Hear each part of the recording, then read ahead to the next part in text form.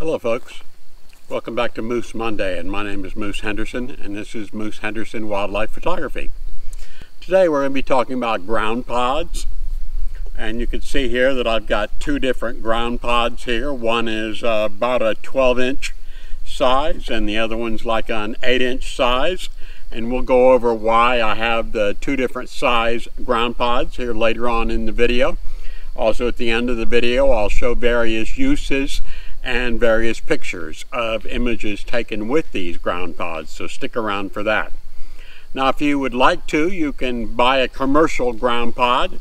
There's one that's uh, made by Naturescapes. I think it's called a Skimmer 2 and it's uh, like polyethylene or something like that.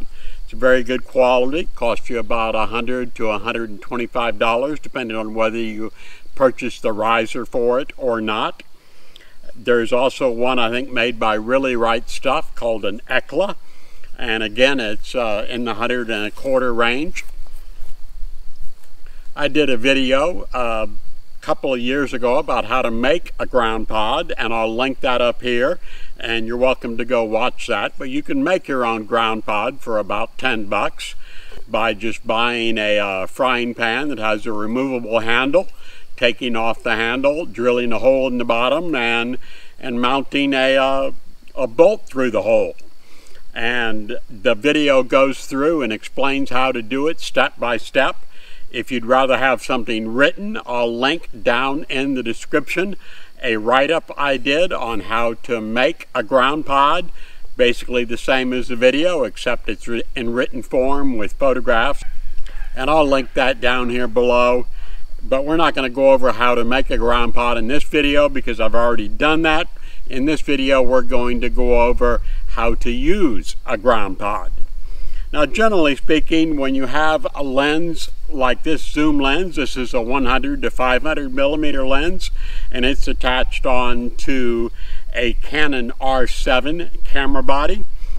So unless the light is relatively low, and you want to shoot with a relatively low ISO, you probably don't need a ground pod for this because you can easily handhold this camera even when you're down low to the ground. Now when the light does start to drop and you start get to the lower shutter speeds, then a ground pod is really nice. And I like to use a smaller ground pod like you see here, the 8 inch one is excellent for something like the 100 to 500. And all that you do is mount that on here to the ground pod. And then now you have a base that you can use to slide across the beach, across the snow, or across the ground to be able to get the type of images that you want. Now you'll see that it's rocking around a bit right now and that's because there's a bolt through the bottom of it. But once you get on to sand or the dirt surface or even onto snow, that bolt no longer becomes an issue because it sinks down into the ground and then the flat plate is able to give you a very steady base. As I mentioned, I have an 8-inch one and I also have a 12-inch one. The 8-inch one is very good for your smaller lenses, like up to 400 millimeters or so. 400 millimeter might be an f5.6 or so. When you start getting the big lenses, like a 400 f2.8, a 500 f4, or a 600 f4, or maybe even a Tamron uh, 150 to 600 millimeter, or Nikon up to 600 millimeter and stuff, then you're going to need something a little bit more stable.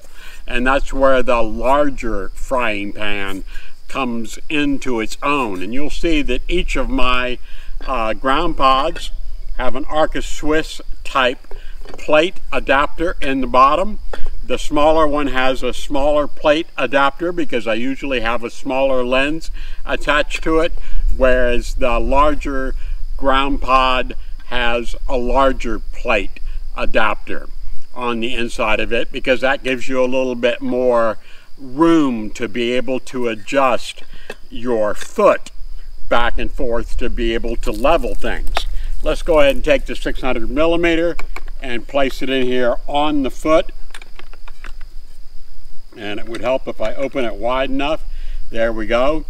So now we're on the foot and as you can see I can loosen this and adjust the lens back and forth as I need to to be able to balance the lens on the ground pod itself. Now you can see that the lens and the ground pod and the camera are all bonded together making one solid unit that you can slide across the ground. The 12 inch type of ground pod is also large enough that you can put a 1.4 teleconverter in or maybe even a 2x teleconverter inside the framework of the frying pan and that allows you to just have an extra area where you can carry things. You can also put a little bit of bird seed in here if you need to, or I don't know, maybe even a snack for yourself. And it just makes it very convenient as an extra place to carry things. And like I say, you can slide this along the beach, along the snow, along the ground, and of course it's going to slide a lot easier than it does on this bumpy table. Now you may find that your camera is a little bit too low to the ground when using the ground pod in this type of situation. And one thing you can do is to put the ground pod like up on a bean bag. Say you have a bean bag like that. And now your ground pod and your camera combination are up a little bit higher. And that gives you a little bit more clearance if you need it. Another option is to actually put like a gimbal head or a ball head on your ground pod. Now let's take and set the camera aside and then we'll take this uh, plate off the bottom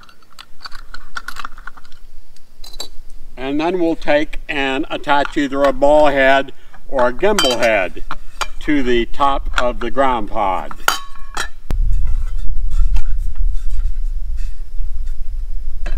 So now you can see we have a gimbal head on here. This is this could very easily be a ball head or something else like that.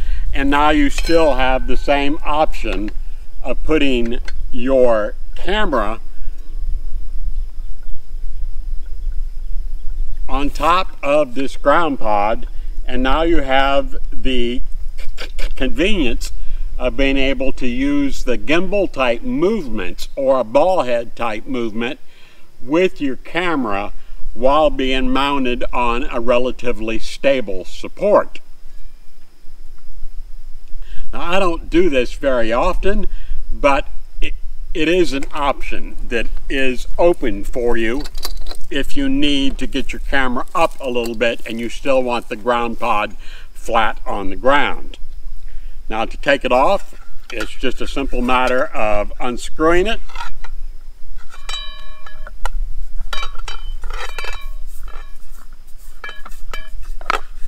And of course you sound like Phil Collins when he's clanking on the cymbals, but uh, hopefully you're not disturbing any wildlife while you're doing that. And then you just put the Arca Swiss plate back on the bottom or Arca Swiss clamp back on the bottom of your ground pod and there you are you've got your working ground pod again now you can see the 8 inch ground pod has a higher riser on it than does the 12 inch ground pod. And again that's by design. I wanted to get the camera up a little bit higher off the rim of the 8 inch frying pan so I used a regular 2x4 to cut out that particular riser and this one was a 1x4 that I cut the riser out of. Now some people may be telling you, well I don't need a ground pod. My tripod goes down close to the ground. Well yeah, that is correct. Tripods do go down relatively close to the ground.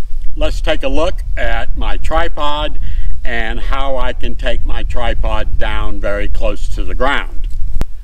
Okay, so here we are. I've got my camera set up on a gimbal head and I've got my tripod and my tripod has the adjustments here on the leg so I can just pull those adjustments out and then gradually lower my tripod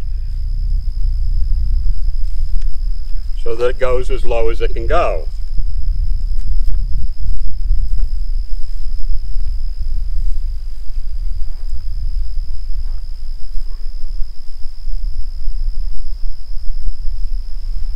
And there we go. As you can see, my tripod is relatively low to the ground. The middle of the lens is maybe, oh, I would call that 20 inches off the ground.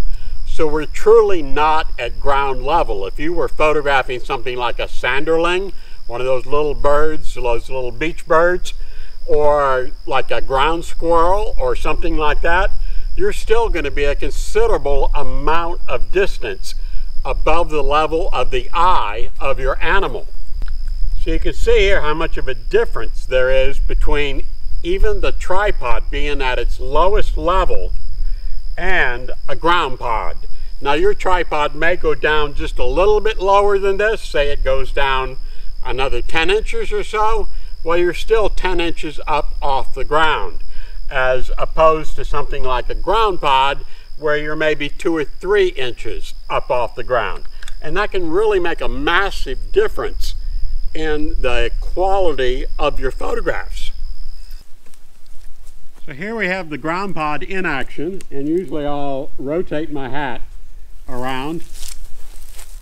And I'm usually lying somewhat in an angle and supporting my lens and looking carefully at the bird or the squirrel or whatever it is I'm photographing. And as with a lot of wildlife photography, a lot of the time you're just waiting and waiting and waiting. But after a few minutes, a few seconds, a few hours, whatever it happens to be, you do finally get some pretty good pictures. Now the thing that you can do is just slide this across the ground, as you see here, and of course, if you're on a beach or on the snow, it slides a lot better, but it just makes it very convenient to go from point A to point B and not be scaring the animal or uh, causing them all to leave and you not get any pictures. Now, the other thing you can do is to use your ground pod in your vehicle. Let's take a look at how that works. Okay, a lot of times I'm photographing some animals from the inside of my truck. And I need to have a really stable support to be able to photograph them because sometimes I'm waiting a long time to be able to do it. Now, there are trucks that and cars that have seats that go up and down, not just back and forward, but also up and down. Well, I'm not lucky enough to have one of those trucks like that. This is a relatively less expensive truck. So my seat is at one level and I can't have it go up and down. So I have to be able to put my lens where I need it on the frame of the door. And sometimes that means I need to get my lens a little higher and I use a ground pod to do that. I usually start out with a bean bag And this is a beanbag called a Skimmer 2. It's by Naturescapes. It's a good quality beanbag. Now I do have a beanbag called a, a Blubb, B-L-U-B-B, the Big Lens Ultimate beanbag. You see that? This is the Blubb. And I did a review on this, and I'll link that up here also. But I don't use this beanbag along with my ground pods. It's just not the, the best type of design. So here we have our beanbag on the window and we need to be able to put our camera on here. So over here in the passenger seat I have my camera and I already have the uh, ground pod attached to the lens and you can see the lens is too low for me to see through without scrunching way down. So by rotating the ground pod underneath there and then settling down the beans and the bean bag, it puts my lens at the ideal height to be able to shoot. And I'm able to photograph deer, I'm able to rotate the lens back and forth, I can do minor movements up and down, things like that, and it just makes it really, really convenient to have a very stable support and to also have that little bit of extra height. Now, sometimes the animals are a little bit closer than uh, they are at other times, and on those occasions, I want to hide myself a little bit and to hide the camera lens a little bit. So let's get this out of the way. And in the door of my truck, I have this camo cloth. And it's more problem to set up, but once it's set up, it's done.